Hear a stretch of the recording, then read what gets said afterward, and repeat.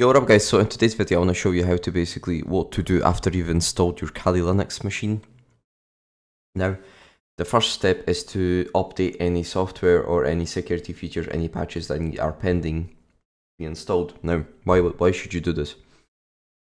If you've installed, just freshly installed your Kali Linux and you're looking what to do, you can just skip this step because it's no, it's not really important for you. However, if you have been using Kali for a couple weeks, or you've just left it for a couple of weeks and as you know because obviously everything's getting updated all the time so I suggest doing is go to your terminal. Uh, go to your terminal. Right this is what I'm doing. Sudo apt upgrade and I'll just explain what this does in a minute. Just do what I'm doing right now. Put your password in and as you can see and as you can see it gives you everything that needs to be upgraded or what will be upgraded as you can see, right?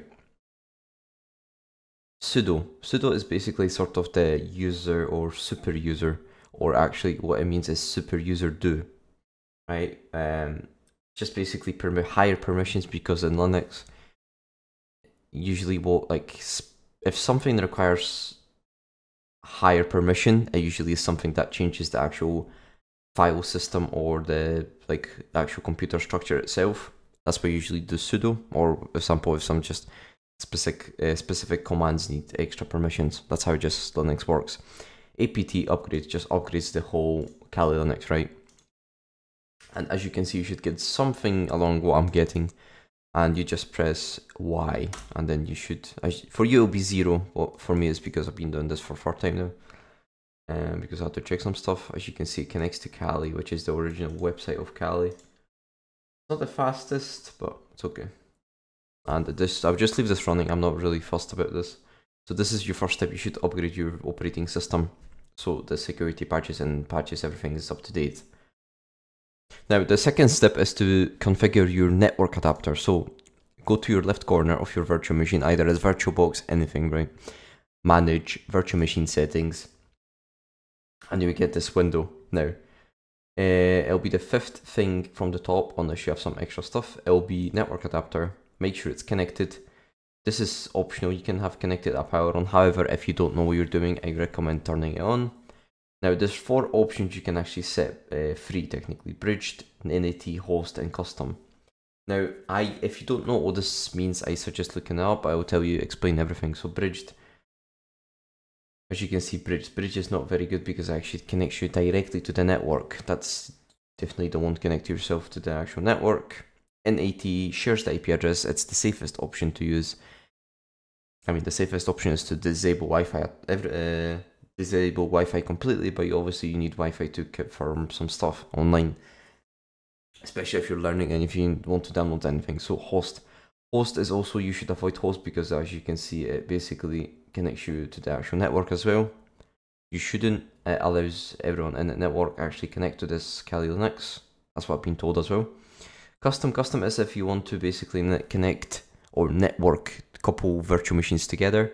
I've posted a video how to actually connect them together and distribute uh, viruses and files between them. So if you want to check out, go ahead. This is basically make sure it's NAT and if you want to use um, custom specific specific virtual networks, make sure you use VMnet 2 or anything like that. I suggest using between 2 to 7 and from 9 to 19 because these work. I've tested it before. Um, okay, so as soon as you changed, right, change your setting, make sure you click OK. Uh, go to your right corner of your virtual machine. I just need to change that. There you go. So make sure you go to right corner, edit connections, go to now for you you might have nothing you might have something i don't know. So make sure whatever you have if not you need to add it i'll show you how to add it. So you just go ethernet the gear ipv4 you can change the name and make sure it's automatic dhcp that's all you need to do for this. Now how to network couple devices together all you do is create another one name it whatever you want. Ipv4 manual now if you don't know anything about networking, just do what I have, it will be fine, right? IP address 192.168.11.139 now because this is a class C address you can change the IP address you can change the last three digits to whatever you want between 2 to between 2 and 254 you'll be fine right just change change it if you leave it if you want make sure it's between 2254, right? Be, make sure 2 and 254. So it can be 2, 4, 5, 6, 7, 8, whatever you want. The subnet mask, network uh, network mask, whatever, because it's a class C address, it'll be 2, 4, right? Because it's basically 255, 2550, uh, sorry, 255, 255, 2550, right? So it's three octets of the subnet mask. Gateway is 192.168.11.1. Leave this as it is. If you don't know what you're doing, just change the IP address to what I have. You can change it to 2, right? And you'll be fine. And make sure that if you actually, imagine what you're connected to. So if you're connected to um, custom specific virtual network, make sure you use VMNet. And if you're connected to NAT, make sure you use NAT, right? That's what we need to do for now. Now, what I do sometimes because yeah, when you download virtual machines, sometimes the display or the resolution is not good. What I suggest doing is typing in, uh, press your Windows key or go to your left corner, type display, enter, and as you can see, it shows us um, resolution settings. So what we want to do is click resolution, click your resolution, whatever your resolution is. Usually it's 192 by 1080 or 920 by 1040 1440, sorry. Scale, leave it as it is. Refresh rate, you can change this. My monitor goes to 165 Hertz. Rotation, you can change this, but I don't suggest this. Reflection, I don't suggest. So what I suggest changing is resolution and refresh rate. And that should be you. Now the fourth step, what I suggest doing is um, changing your password because password is important to make sure this is encrypted or encrypted. so basically, no one has access who's not supposed to have access to the virtual machine because you might have you might get in trouble, right? Well, So what you need to do is go. You should go to users, users and groups. As you say, as you can see, Griffin, this is my account, right? What you should do is either manage groups or add. What I suggest doing is, is just changing the password. And so basically you can change your Griffin, you can change your um, name, you can change your account type. I don't suggest changing it, just leave it as it is, and password password. You can set your password, right? Make sure that when you ask on login, make sure you have this turned on because this is important. Change, and you can change your password. We can generate a random. I don't suggest having this on. You should forget it. Why? Just change it to whatever you want, right? Now, sort of the fifth step to make sure you people don't know you're using Kali or how to protect yourself is installing Kali Who Am I. So what you do is go to your terminal. So you'll be sudo install sudo sudo apt install um Kali Who Am I. Now for me, I won't be able to because I already have installed. As you can see, it's done, right? So I already had Kali I installed. I'm actually sorry, I made a mistake. So basically, because Kali I cannot be downloaded, what you need to do is on GitHub and install Kali I itself. Uh, so all you do is just go into internet, any internet you have, you can use Tor browser, which is, this will be actually the sixth step using Tor browser on your Kali. Make sure you don't actually do anything illegal, right? Because you're still being get tracked.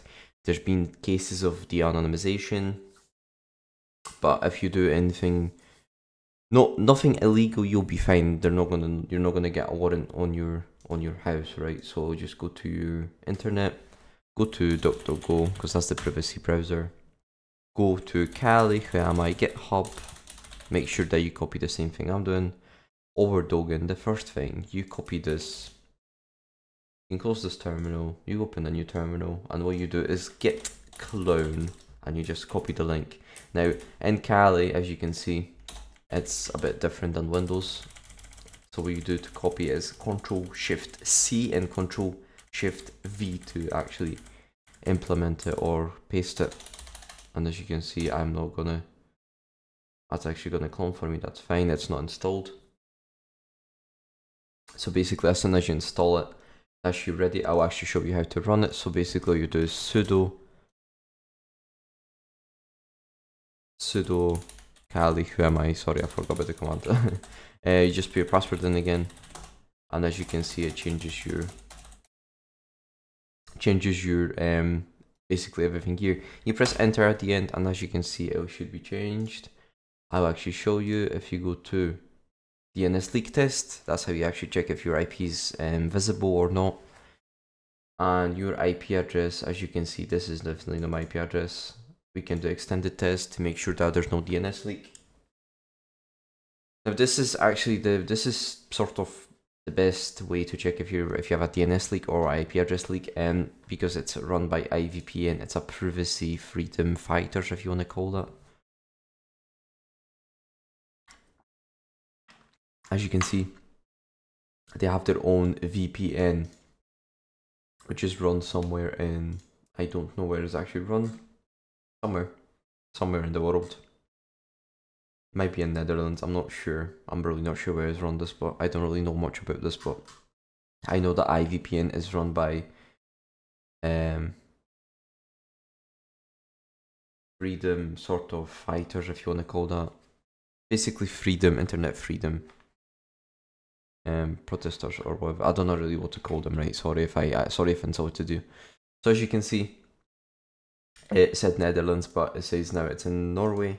I can assure you I'm not in Norway, right? Um, so, hope I've helped you how to sort of get around Kali Linux. I'll make a tutorial what to do and how to how to learn Kali Linux because it's a different operating system. I've actually had to learn myself.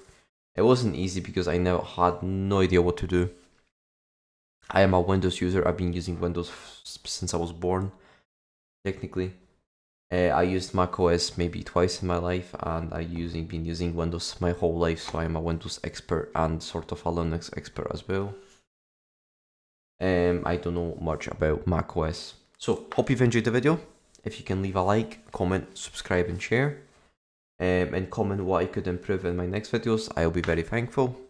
Hope I could actually help you with this quick guide and see you in the next video. Make sure to check out my other videos and my other tutorials because I post, try post two to three videos or as much as I can weekly. Sometimes I generally don't have time.